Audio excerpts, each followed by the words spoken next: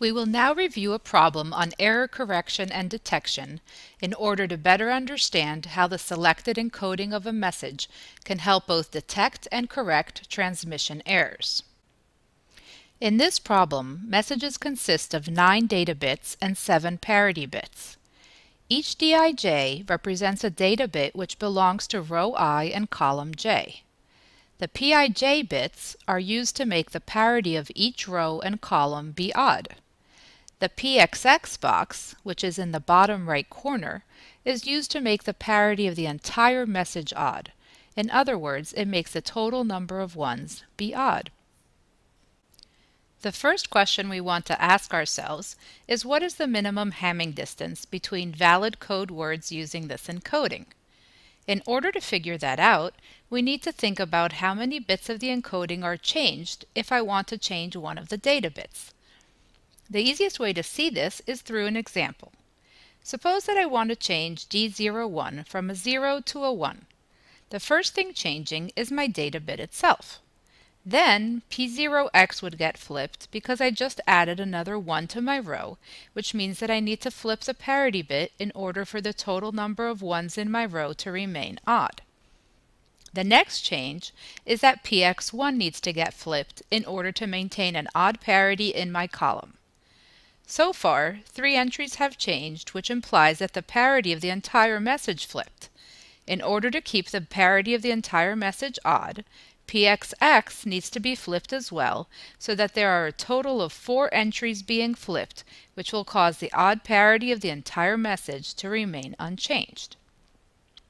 This means that our minimum Hamming distance for this encoding equals 4, because anytime we flip a data bit, a total of 4 entries need to change to maintain our encoding.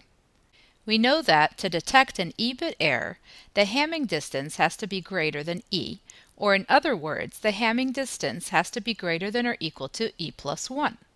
So to detect a 1-bit error, one needs a Hamming distance greater than or equal to 2. We also know that to correct an e-bit error, the Hamming distance has to be greater than 2e, or the Hamming distance has to be greater than or equal to 2e plus 1. So to correct a 1-bit error, one needs to have a Hamming distance greater than or equal to 3. For this encoding, since our Hamming distance equals 4, that means we should be able to both detect and correct 1-bit errors. Taking a look at this message, if we check the parity of each row, column, and full message, we see that in all cases our parity is odd. Since odd parity indicates a valid message, there are no errors in this message. Looking at this message, we see that all the row parities are odd, but the parity of column 1 is even. This means that there is an error in column 1. However, since there were no errors in the parity of the rows, this means that the bit in error is the parity bit itself. If we flip px1 from a 0 to a 1, we now have a valid message again. Looking at the parity of each row and column in this message, we see that row 0 has an even parity and column 0 has an even parity. This means that the data bit at row 0, column 0 is wrong. If we flip this bit, we now see that all of our row and column parities are correct, and our total message parity is correct as well.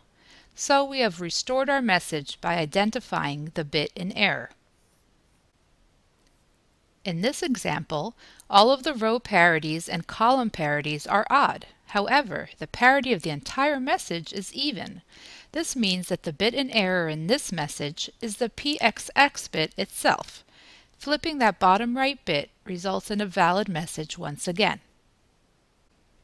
Now let's go back to our original valid message and see if we can correct 2-bit errors. Suppose we flip D11 to 0 and D22 to 1 to create a 2-bit error.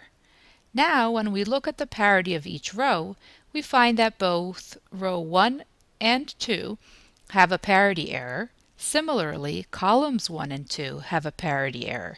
The total message parity remains correct. Given this information, We know that an error occurred in the transmission of this message, but we cannot identify exactly which bits are in error because there is more than one possible way to alter two bits and arrive at a valid message.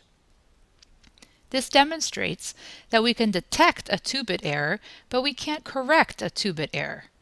Going back to our original claims about Hamming distances, this is in line with our expectations. If e equals 2, meaning that we want to detect a 2-bit error, then the Hamming distance must be greater than or equal to e plus 1, which equals 3. To correct a 2-bit error, the Hamming distance must be greater than or equal to 2e plus 1, which equals 5. Since our Hamming distance in this problem is 4, we can only detect 2-bit errors, but not correct them.